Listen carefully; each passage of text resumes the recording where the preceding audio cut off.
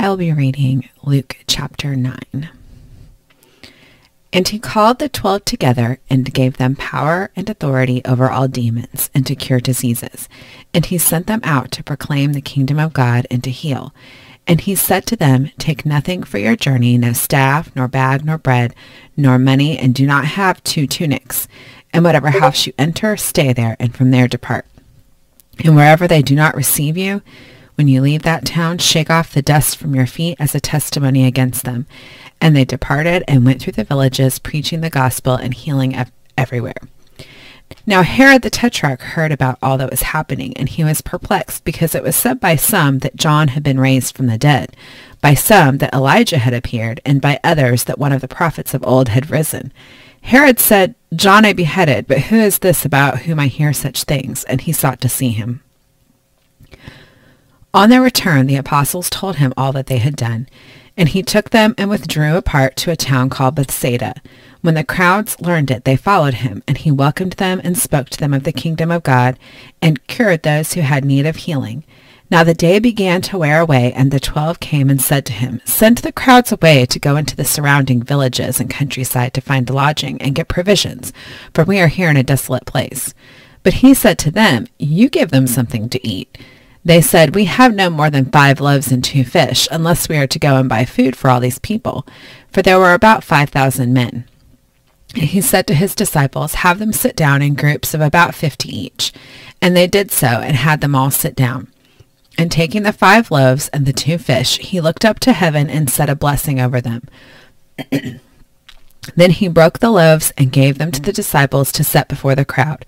And they all ate and were satisfied and what was left over was picked up, twelve baskets of broken pieces.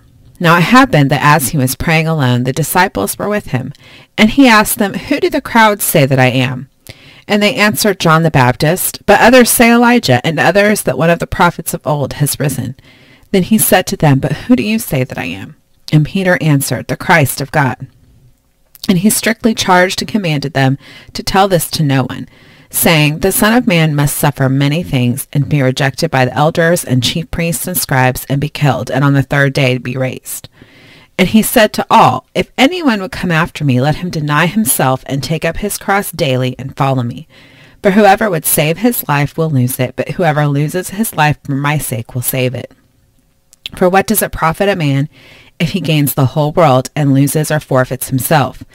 For whoever is ashamed of me and my words, of him will the Son of Man be ashamed when he comes in his glory and the glory of the Father and of the holy angels. But I tell you truly, there are some standing here who will not taste death until they see the kingdom of God. Now about eight days after these sayings, he took with him Peter and John and James, and went up on the mountain to pray. and as he was praying, the appearance of his face was altered, and his clothing became dazzling white. And behold, two men were talking with him, Moses and Elijah, who appeared in glory and spoke of his departure, which he was about to accomplish at Jerusalem. Now Peter and those who were with him were heavy with sleep, but when they became fully awake, they saw his glory and the two men who stood with him. And as the men were parting from him, Peter said to Jesus, Master, it is good that we are here. Let us make three tents, one for you, and one for Moses, and one for Elijah, not knowing what he said. As he was saying these things, a cloud came and overshadowed them, and they were afraid as they entered the cloud. And a voice came out of the cloud, saying, This is my son, my chosen one. Listen to him. And when the voice had spoken, Jesus was found alone. And they kept silent and told no one in those days anything of what they had seen. On the next day, when they had come down from the mountain, a great crowd met him. And behold, a man from the crowd cried out, Teacher, I beg you to look at my son, for he is my only child. And behold, a spirit seizes him, and he suddenly cries out. It convulses him so that he foams at the mouth and shatters him, and will hardly leave him. And I beg your disciples to cast it out, but they could not. Jesus answered, O faithless and twisted generation, how long am I to be with you and bear with you? Bring your son here. While he was coming, the demon threw him to the ground and convulsed him. But Jesus rebuked the unclean spirit and healed the boy and gave him back to his father, and all were astonished at the majesty of God.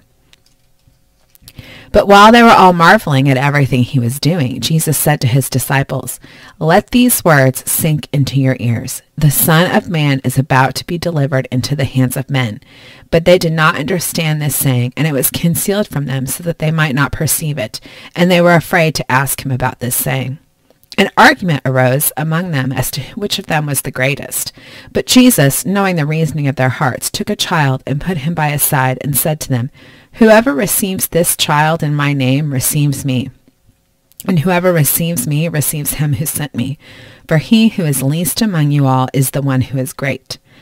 John answered, Master, we saw someone casting out demons in your name, and we tried to stop him because he does not follow with us. But Jesus said to him, Do not stop him, for the one who is not against you is for you. When the days drew near for him to be taken up, he set his face to go to Jerusalem. And he sent messengers ahead of him who went and entered a village in Samaria to make preparations for him. But the people did not receive him, because his face was set toward Jerusalem. And when his disciples James and John saw it, they said, Lord, do you want us to tell fire to come down from heaven and consume them? But he turned and rebuked them, and they went on to another village.